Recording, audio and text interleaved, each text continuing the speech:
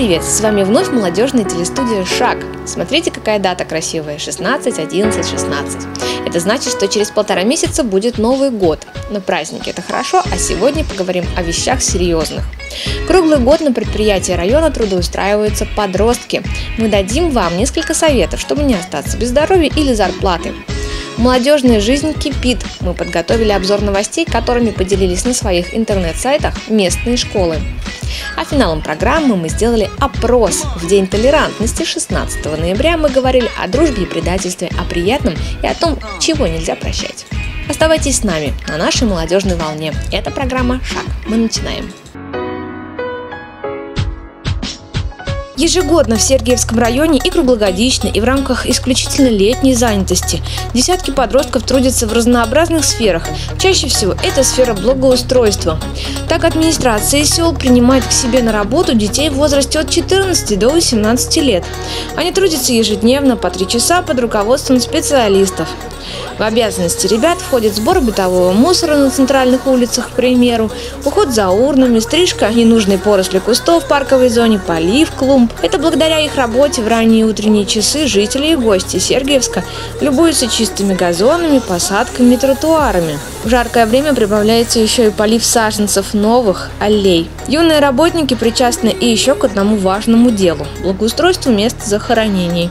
Они ухаживают там заброшенными могилами, в том числе и ветеранов Великой Отечественной войны. С подростками, трудоустроенными на лето, постоянно находится их куратор. Он не только ежедневно определяет фронт работ, следит за их исполнением, но и отвечает за безопасность маленьких помощников. Трудоустройство в подростковом возрасте – это очень важно. Кроме заработка, юный человек приобретает понимание ценности и чужого труда, иногда первые хозяйственные навыки, а также потребности внести свой личный вклад в развитие малой Родины. Но трудоустройство должно быть законным. Об этом регулярно предупреждает и прокуратура. Родителям, опекунам и самим детям нужно помнить несколько простых правил оформления на работу, в частности о необходимости трудового договора.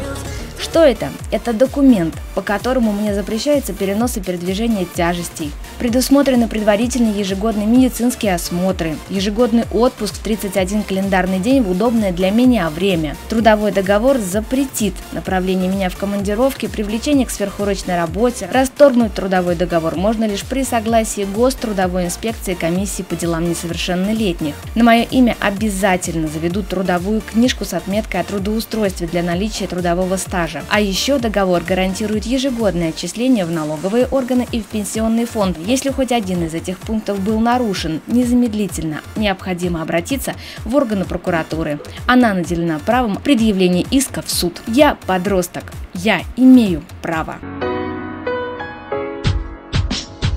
Сжатое сообщение, просмотр, выписка, панорама, дайджест, исследование – это все синонимы к слову «обзор». Мы изучили новости на страничках школ Сергиевского района и самое интересное сейчас озвучим с экрана. Начнем с самого большого поселения. В Суходольской школе номер один с 17 по 21 октября проходили мероприятия, посвященные проблемам энергосбережения. В 10 классах проведены классные часы на тему энергосбережения сегодня, а с учащимися 11 урок провела руководитель промышленного отдела администрации нашего Сергиевского района. Среди учащихся 5-9 классов состоялся конкурс сочинений на тему бережного отношения к энергетическим ресурсам. А еще в той же школе в этом учебном году в третьих классах реализуется программа внеурочной деятельности под названием «Юный краевед», которая помогает учителю расширить знания детей о родном крае, увидеть его в общем ходе истории, ощутить свою связь с прошлым и настоящим страны. И 13 октября учащиеся посетили памятник морякам в парке Суходола.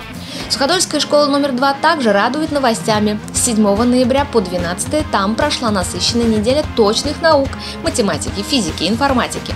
Работали четыре проектных группы. 10 А – это блок цитат.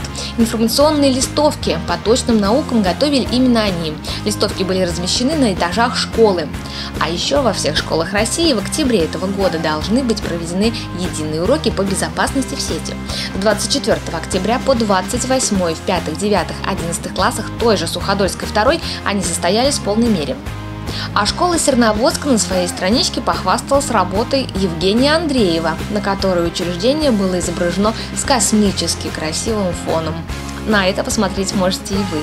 А школьное правительство Сургутской школы указало в сети свой девиз как «Россию строить молодым». Оно информирует об одной из участниц конкурса «Мисс Осень» во втором классе. Такое веселое видео для презентации получилось у них. А я с этим согласна. Девочка я творческая, люблю я рисовать и танцевать. Я люблю спорт и хожу в бассейн. Здоровье это важно, и друзья со мной согласны. Чтение книг это увлекательно. Кто владеет информацией, тот владеет миром. Что касается моих друзей, то они у меня есть. Я доверяю им свои секреты. Также у меня есть любимые одноклассники. Хоть нас часто ругают, но самое главное, что мы вместе. А еще сегодня вспомним новую для России дату и новое понятие «толерантность». Ее значение известно всем, но вот суть часто ускользает. Хотя что тут сложного? Это означает терпимость. А нужно ли все терпеть? Хотя иногда терпимость может спасать, к примеру, дружбу. В ней ведь все прощается. Пусть нас рассудят наши ровесники. Выходим на опрос о дружбе и терпимости. Дружбу нужно уважать, ценить. Самый лучший друг. Дружить с друзьями, разговаривать с ними. Они тебя будут в беде помогать. Дружить. Те всегда будут помогать. Наверное, человек, который всегда может прийти на помощь в нужный момент. На дружбе все держится. Не будет друга и не будет ни успехов, ни удачи. А друг поможет и в беде, и в радости. Поэтому дружба – это самое главное. Дружба – это когда друг себя не обижает, помогает в беде. Ну, в дружбе, думаю, честность, доверие друг другу. Дружба это когда, ну, вот э, друг, товарищ может всегда помочь или там, ну, что-нибудь тебе посоветовать. Это с родителями дружба? Ну и с, это, с одноклассниками, с, э, из детского сада, там, со школы. Когда ты гуляешь с друзьями, и они помогают тебе во всем. Мне нравится, когда друг тебя может выручить, помочь в трудную минуту. Еще мы постоянно выходим на улицу, играем, общаемся, гуляем. Самое приятное в дружбе – это когда уважают друг друга люди. В дружбе это самое главное, это взаимопомощь, выручка.